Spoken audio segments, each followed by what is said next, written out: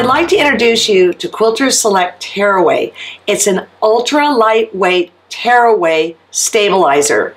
What you would use it for is, for instance, if you're doing applique with a bulky stitch around the edge, like my heart here that has a satin stitch, real dense. Now in a perfect world, you want the satin stitch to go completely onto the applique piece itself, but sometimes you'll dip into the background and what happens is the stitch actually starts to buckle the fabric and that's really not good.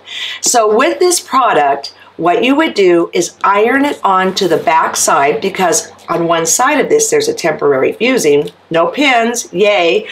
And then you go to your sewing machine, you do all the stitching, and when you're happy and you're done, you simply turn it over and this just tears right out.